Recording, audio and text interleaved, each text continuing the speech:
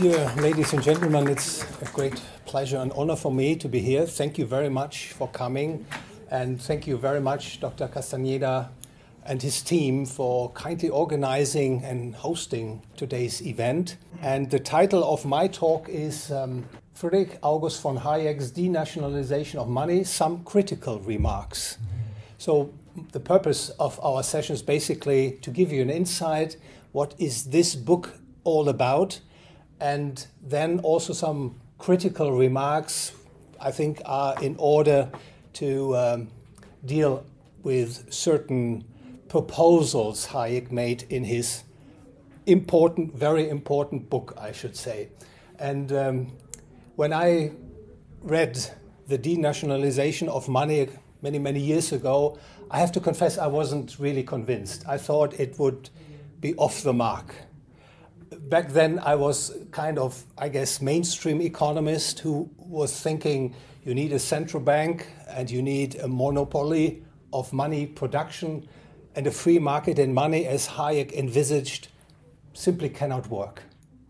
And I put that aside, but over the years, and this is what I uh, love to convey to you, is uh, you learn more, you think more about things, and you come to different conclusions.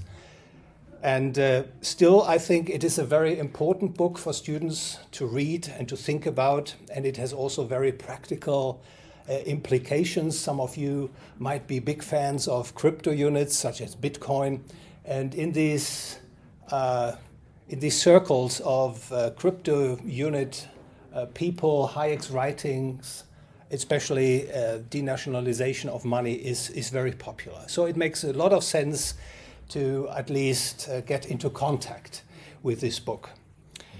Um, Friedrich August von Hayek, Dr. Castaneda said it already, was born in 1899 in Vienna. And uh, he is still, I would say, one of the most prominent representatives of the so called Austrian School of Economics. The Austrian School of Economics, I should say, is not an homogeneous uh, school of thinking. It's actually quite diverse once you delve into the various writings of its representatives. Hayek certainly is the most prominent representative of the Austrian school. As I said, in 1974, he was awarded the Nobel uh, Prize of Economics together with the Swedish economist uh, Gunnar Myrdal. And that is, of course, uh, or it was an event that brought him on the world's, uh, well, brought him the world's attention because being awarded with a Nobel Prize, you know, comes with lots of prestige. And that helped, of course, all the other uh, Austrian uh, scholars um, that Hayek was uh, rising to such a prominent status. Uh, in a nutshell, Hayek, in uh, his uh, denationalization of money, calls for putting an end to the states or the governments, whatever you prefer as far as the term is concerned, uh, to put an end to the state's monopoly of money production, replacing it by a free market in money. And as I said, at first glance, it seems to be a rather radical proposal, isn't it? Uh, at a second glance, however, uh, we would realize that there is actually strong economic and ethical uh, support for Hayek's idea. And I should add that Hayek uh, is and was not alone. Quite a few economists over the years have challenged and even opposed uh, the status quo, namely that money production is monopolized by the state. For instance, in Europe, in the Eurozone, uh, the European Central Bank is the monopolist of money production. It is the only institution that has the license to produce central bank money. And, this, and central bank money is required by all commercial or private banks to create their own type of money, namely commercial bank money. On on the first slide, I, I brought with me, let me see. Yeah, I, you find some, some literature, just in case you find some of the ideas we will address of interest. Uh, so you have a list of, I think, worthwhile readings um, Hayek's uh, denationalization of money, the argument refined. Um, that's the book we talk about, and Dr. Castaneda referred to the precursor of that book, uh, Choice of Currency, A Way to Stop Inflation uh, from 1976. Um, also of interest is the reading in uh, Mises' Human Action. Ludwig von Mises was basically uh, the supervisor of Hayek in, in Austria and uh, close friend. And then, of course, the writings uh, by Rothbard, uh, especially uh, his 1995 essay, three part essay, How to Free from Government Money. You find that on the website. And when it comes to free banking, because free banking is associated with the idea of having a free market in money, I would like to refer you to Sechrest's book from 1993, uh, Free Banking Theory, History, and Laissez-faire, and a laissez-faire model. And you find that on the internet. I think you can download uh, all the literature for free. In his uh, denationalization of money, Hayek proposes to give uh, people, and I think this is what it boils down to, the freedom of choice in money affairs you and I, we all should be free to choose the kind of money we think is best for our purposes. And at the same time, people should be free to provide their fellow people with things they voluntarily wish to use as money. I think this is the core idea uh, as Hayek outlines it in his denationalization of money. Hayek rejects the monetary status quo. Just to remind you, I already referred to that today, the world over we find state controlled monetary system systems. Uh, state owned central banks hold the monopoly of the production of money or the production of central bank money, and private commercial banks have received so called uh, a license, a license uh, so to speak, allowing them to produce their own type of money, commercial bank money. So I think we should ask several questions, and I brought you five questions. So let us begin and ask the question why does Hayek come up with his proposal to end state money, pro uh, money production monopolies, replace it with a free market in money? Well, when Hayek published his book uh, in the 1970s, goods price inflation was very, very high in the Western world. Uh, in the US, they were talking about the great inflation. They had consumer price inflation of up to, what was it, 16, 18%. Uh, it was, uh, in the UK, it was, I think, slightly worse. Uh, inflation was, was exactly, was, um, was even higher. And um, where did it come from? Well, the US administration had ended uh, the gold redeemability of the US dollar on the 15th of August 1971. Before that uh, day, the US dollar was basically linked to gold.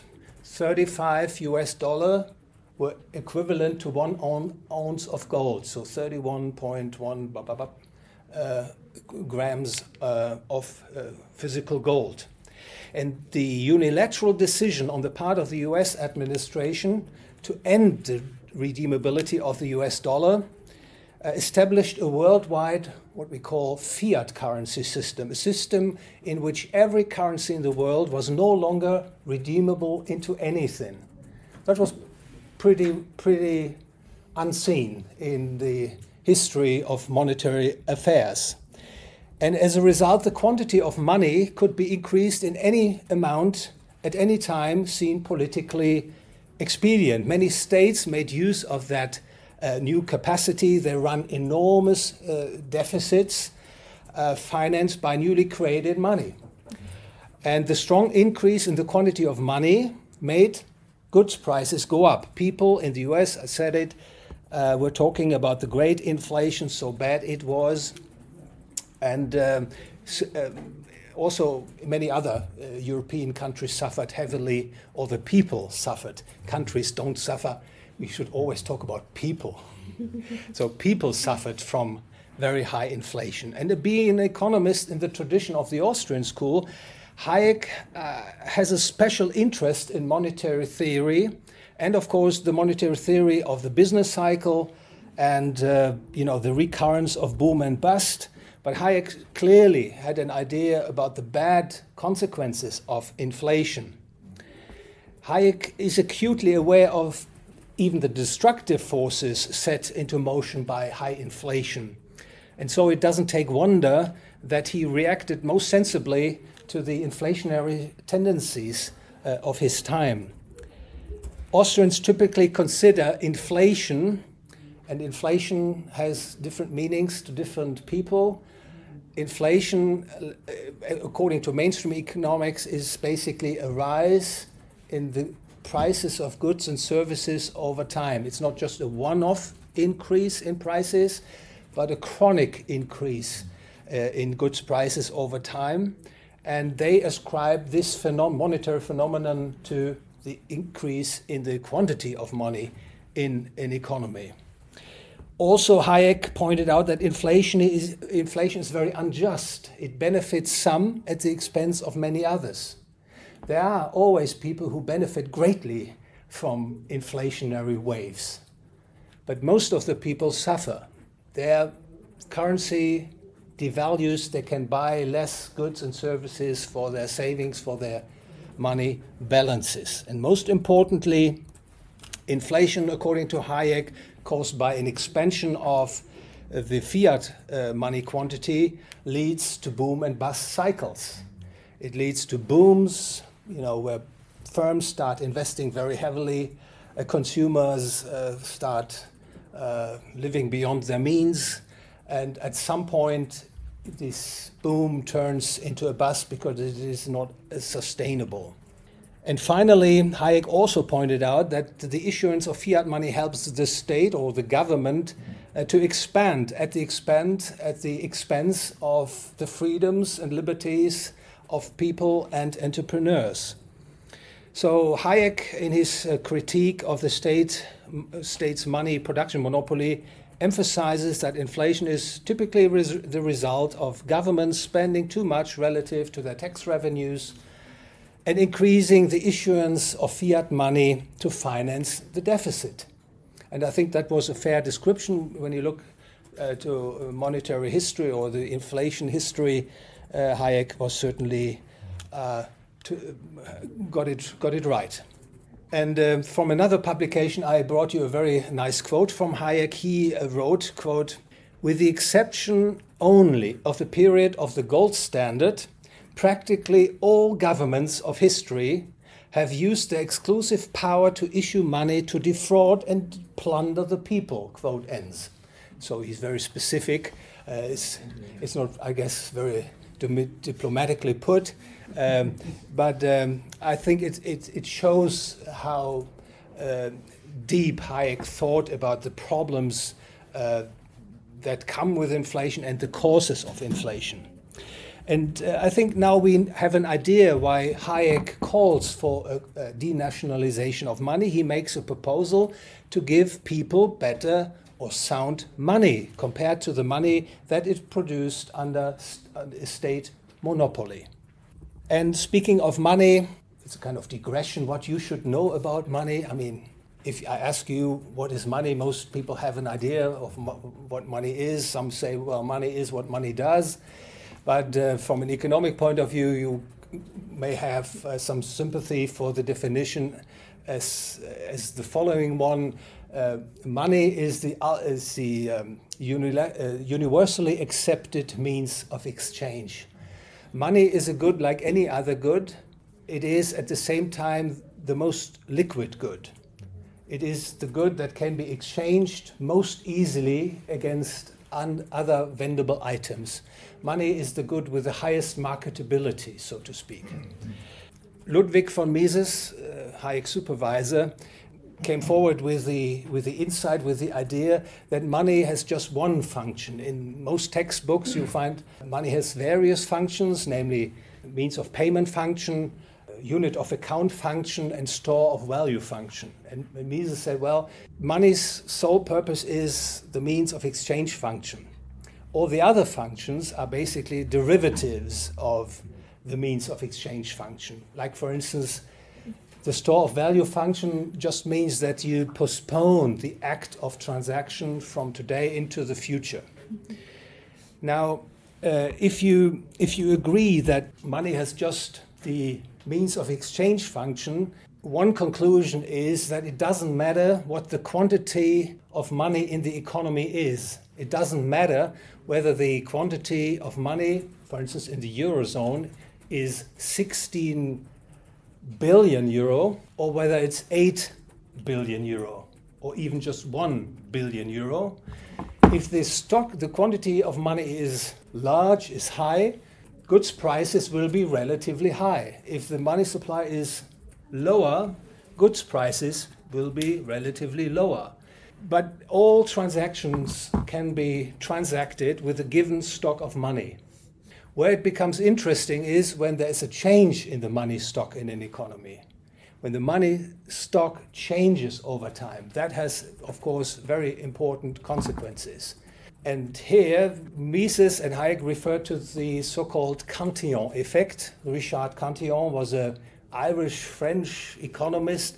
I think he, to my knowledge, you may know better, he was basically the first one who came forward with, with a monetary theory of the, of the business cycle in the, in the late 17th century. And uh, what he said was that an increase in the stock of money in an economy is never neutral. Like, for instance, monetarists, they would argue that an increase in the money supply in the economy sooner or later raises all prices, which is possibly true. But Hayek and Richard Cantillon, they had a more micro-oriented perspective. They would argue that if the money stock in an, econ- in an economy increases, there will be winners and there will be losers. The winners are, are the ones who receive the newly created money first, the gentleman over here. If we are an economy and we're having 100 pounds and the gentleman gets an additional 100 pounds, he is the one who can spend that money for goods and services at unchanged prices. And over time, as the newly created banknote passes from hand to hand, it's used for demanding goods and services, and so the prices will tend to go higher. And Dr. Castaneda, he's the last one who receives who receives the newly created money, can only spend the received banknote against goods and services at elevated prices. So here we have the winner of the money creation, and here we have the loser of the money creation. The increase in the change of the quantity of money is never neutral.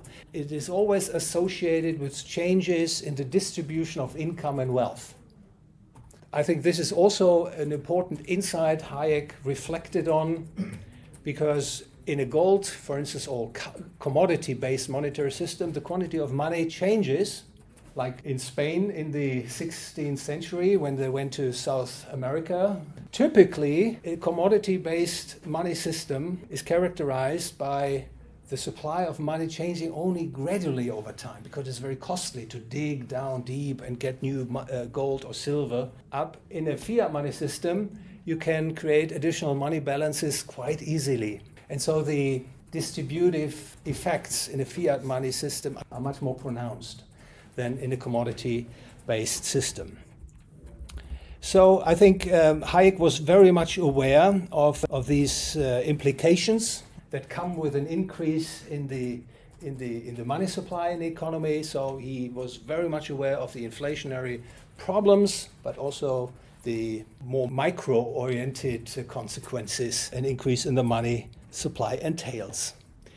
Now, let us uh, turn to the question uh, how would a free market in money work? I guess most of you like uh, free choice. Most of you. This is just a hypothesis, but most people I find, and I cannot prove that, just an empirical observation. Most people like uh, free choice when buying, say, food, or sports shoes, books, computers, furniture, cars, etc. And I think it doesn't take much uh, to convince you that a free market, free choice in a free market caters best to the needs of consumers, providing them with goods of the highest quality at the lowest possible price. you may be asking yourself, how could a free market in money possibly work? Isn't that strange? Well, it would presumably work like this. People, when making exchanges, would preferably use that type of medium of exchange that is most widely accepted, that has the highest marketability. To give you an example, I, for instance, would seek to get hold of a medium for exchange which is from the viewpoint of my trading partner, say a baker, shoemaker, shop owner, that is from the viewpoint of my trading partner most highly valued. And whoever it is I'm trading with would seek to hold a medium of exchange that can most easily be exchanged at the car producer, and so on. In other words, in a free market in money, it is the demand for money that determines what money is. The money is not imposed on the people, but people, for practical reasons, would choose the kind of money that serves their purposes best. So you could even say it is the people in a free marketplace that determine what money is. But what about the money supply, you may ask? When seeking good or sound money, people will realize that this thing that should serve as the means of exchange must have certain characteristics. For instance, it must be scarce, homogeneous, so of the same quality and type. It must be durable, it must be mintable, it must be transportable, it must represent a relatively high value per unit of weight or whatever it is. And when you look into monetary history, you find that people mostly preferred gold and silver in particular, even copper, because from their point of view, things met the requirements of sound money in the best way. Of course, we wouldn't know if we open up a free market in money in the UK by just pressing a button what would uh, what kind of money would emerge. As you know, the free market is a discovery process, and Hayek on many occasions made that point. Competition allows us to find out what works best. And that would, of course, be the same with money if we allow for a free market in money.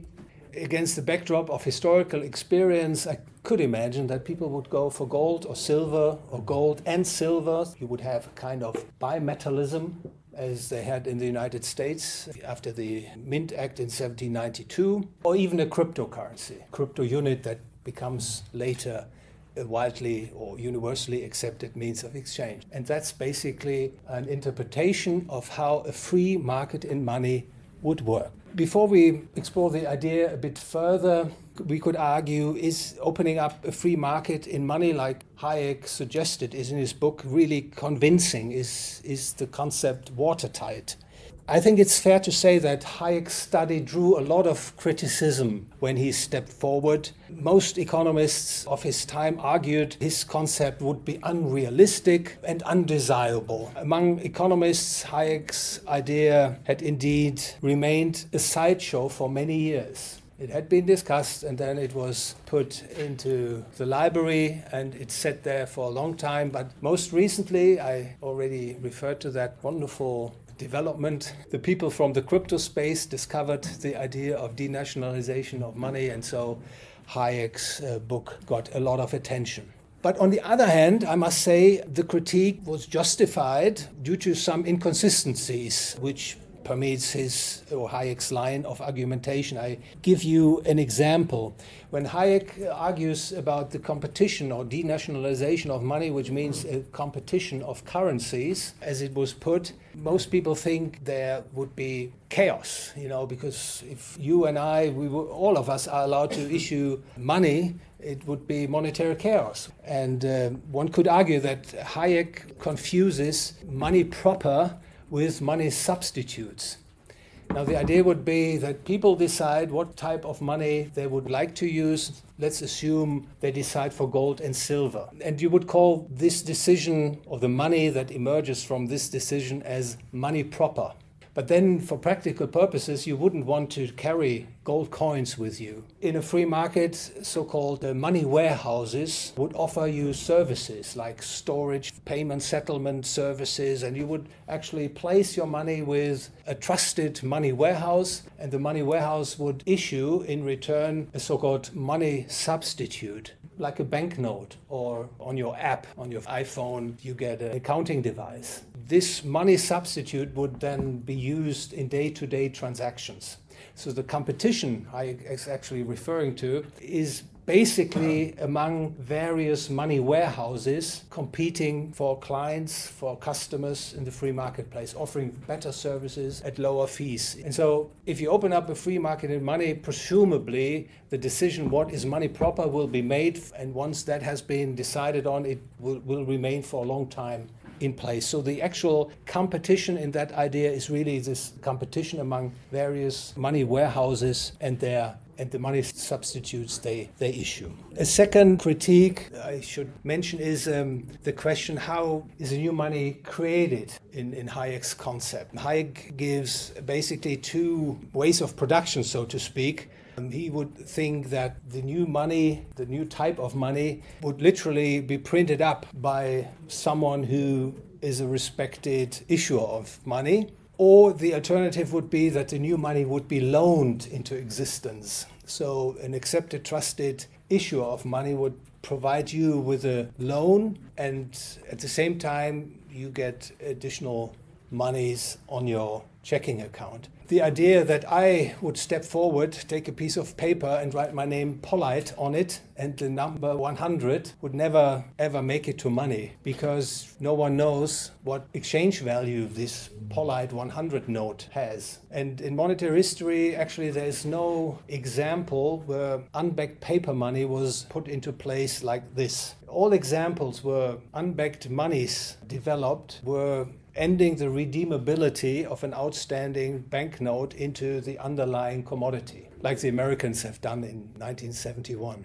So the idea that I could step forward, or even Hayek could step forward, or Dr. Castaneda could step forward and we just issue our money, this idea is in conflict with Ludwig von Mises' uh, regression theorem, where he tried to outline where does money really come from, and that is an idea that goes back to Carl Menger, who emphasized that money has emerged spontaneously out of the free market transactions and out of a commodity. And Mises basically provided a logical foundation. So one could criticize this idea of, you know, getting new money into, into circulation as Hayek suggested. And the second line of production of new money, loaning it into existence, that causes actually trouble with Hayek's idea of the monetary business cycle theory. If you loan money into business, then you end up like in a fiat money system where you increase the money supply not backed by real savings, and then you get into this boom and bust cycle. So these two critiques I just wanted to point out, they can or they may explain why there was quite some resistance to Hayek's notion of a free market in money. Let me say that I hasten to make clear that these criticisms, there are others uh, we could address, that these criticisms refer to technicalities they by no means imply an outright rejection of the idea of denationalizing money. It's really about smaller technicalities that can be sorted out. And I think the important point at this uh, juncture is there are still very important lessons that can be learned from Hayek's denationalization of money. I think that needs to be emphasized, especially for us today. Let me give you some lessons and then I'm going to end my talk. Hayek reminds us that there is no compelling economic and ethical reason uh, why the state or the government should hold the monopoly of money production. And in fact, that providing the state with the authority over money will lead to inflation and its economic and societal evils. I think this is a very, very important lesson. The second lesson, Hayek rightfully points out that the free market for money is possible, so he comes up with an alternative. And that is uh, no doubt about that, economically and ethically a superior alternative to today's state controlled money monopoly regimes. And the third lesson Hayek's free market in money can be set into motion quite easily. It can be put into practice with relatively little changes. We would need just three changes. Number one, ending the legal tender status of official currencies. That can be done quite easily. So you take away the privilege of the existing currencies in terms of their legal tender status. Second, ending capital gains taxes and VAT on money candidates like gold and silver or crypto units. And the third change is ending all remaining regulations that stand in the way of using other means for payments. And then uh, free market in money is ready to go. It doesn't take much. And then people can decide whether they will continue to make their purchases in euro or in British pound or United States dollar. Lesson number four Hayek brings to our attention what Carl Menger, the founding father of the Austrian school, had pointed out already in his book Principles of Economics from 1871, namely that money is a free market phenomenon. Money emerged spontaneously from the free market and out of a commodity. So we, at a theoretical level, we have good arguments to think that a free market in money really could take off. I hope I could give you an overview about uh, what Hayek put in his book, the Denationalization of Money. I hope you get an idea why he came up with his proposal, and I hope you also realize that a free market money is possible, that it is economically and ethically really a superior arrangement for our monetary affairs. That is something Hayek has thought about, and I think these ideas are applicable to the current setting we find in this world. And uh, yes, there are lessons uh, to be learned from Hayek's book. So I hope I could achieve my objectives in getting you into contact with Hayek's idea have an interest in taking the book at the library and have a read. And thank you very much for your attention and patience.